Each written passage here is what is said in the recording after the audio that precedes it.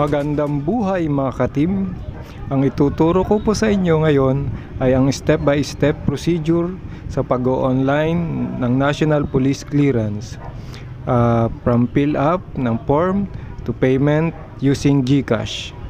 So, konting trivia lang po. Ang National Police Clearance System was launched by the PNP uh, during mid-2019 uh, to provide faster and efficient way of securing police clearance. So madali lang po ito. Kaya hindi wag na natin patagalin. Let's start. Okay, first step, uh, search po tayo kay Manong Google PNP Clearance Online. Uh, labas na po dyan ang National Police Clearance System. Oh, so, click lang natin.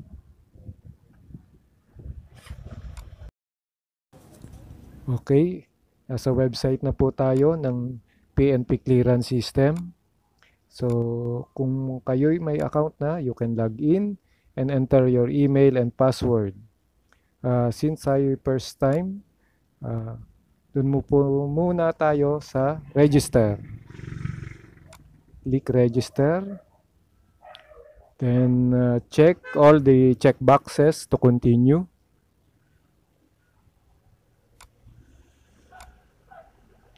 Click next.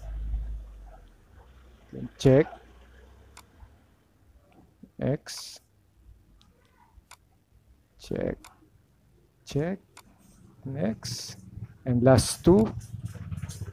Check boxes. One two. Then click I agree. So enter na po tayo ng valid email address Then, create password.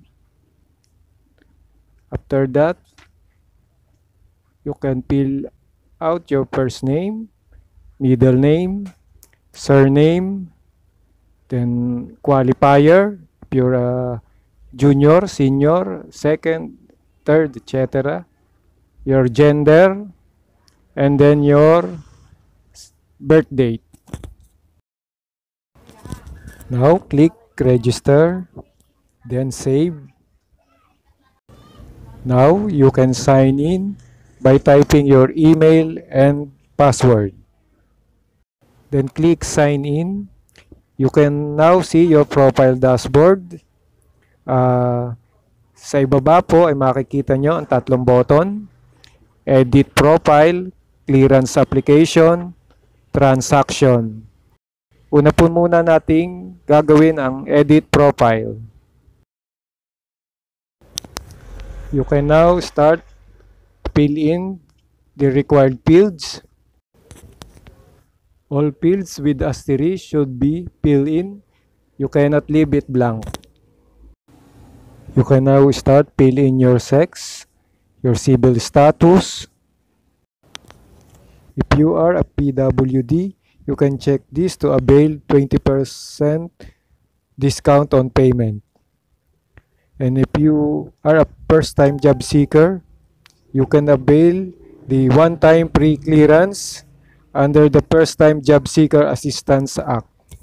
Now, let's continue. Fill in the nationality, the birthplace, your address, province, then city or municipality, then barangay, your mobile number, your height. May built-in converter na po siya. Kung hindi nyo alam ang inyong height in centimeter, you can click converter and type your height in feet and inches. Then your weight, complexion, your blood type, religion, educational attainment, your occupation, then your family background, father's name, father's middle name, father's surname, your father's birthplace, then your mother's maiden name, your the, your mother's middle name, your mother's surname, then your mother's birthplace.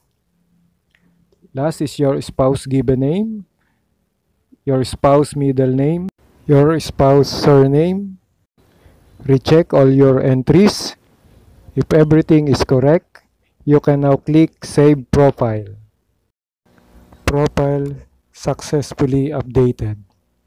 We can now click the clearance application. Select na po tayo ng ating police station, ng ating local police station. Pero bago yan, meron po kayong makikita sa unang row na select for LTOPF application. Choose no kung hindi naman po ito gagamitin for firearms license. Now you can select your local police station for the date of appointment.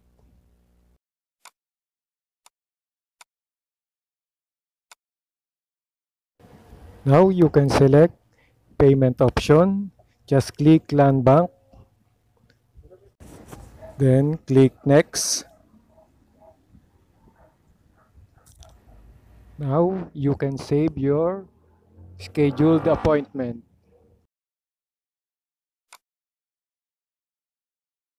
You are now successfully save your appointment. Makikita nyo na po ang inyong reference number, your payment channel, appointment date, uh, police station, kung saan makukunin ang iyong clearance. Makikita nyo po na ang status niya ay pending. So, pwede na natin siyang bayaran through GCash. Click na po natin yung green button. Click here to pay.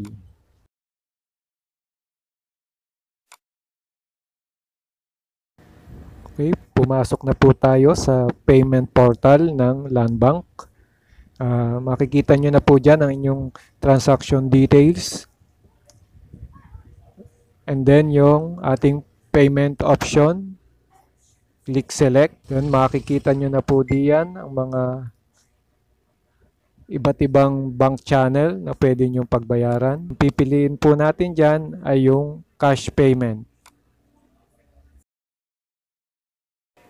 Now, yung ating payment summary. Andiyan na po ang transaction amount which is 150. Meron na tayo ngayon transaction fee, 30 pesos. Ang total amount na ating babayaran ay 180 pesos. Click na po yung checkbox and then click submit. Now we can choose our payment method. Marami po tayong pagpipilian kung saan pwede tayong magbayad. Since GCash po ang ating preferred option, kiklik natin ang Bayad Center.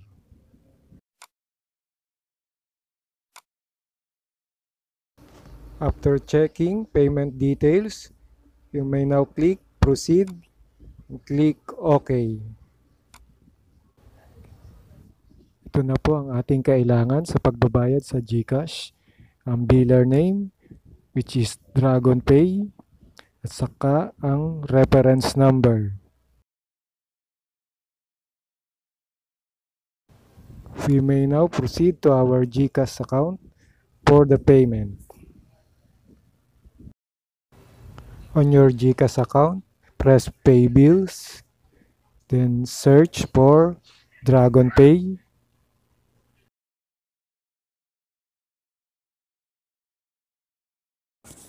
Now, type na natin yung ating reference number. Then, ang ating contact number and email use. Okay. Double check po ang ating reference number. If everything is okay, you may now click confirm to process the payment. Ang maganda sa GCash ay real-time ang kanyang crediting. Few seconds lang ang ating iintayin, credit na siya, at, siya sa ating uh, clearance. Balik na po tayo sa ating clearance dashboard. As you can see, paid na po siya. You can now download the transaction details. Pwede nyo na rin pong i-print siya o i-screenshot. At yan ang inyong dadalhin o ipapakita sa police station. That's all mga ka-team. At sana po ay nasundan nyo ang aking step-by-step procedure. At kung may mga iba pa po kayong katanungan, kindly write it down sa comment section. At kung nagustuhan nyo po ang aking video, ay pakiki-click na rin po ang subscribe button and click the notification bell para po ma-notify kayo sa mga susunod kong tutorial videos. Bye-bye!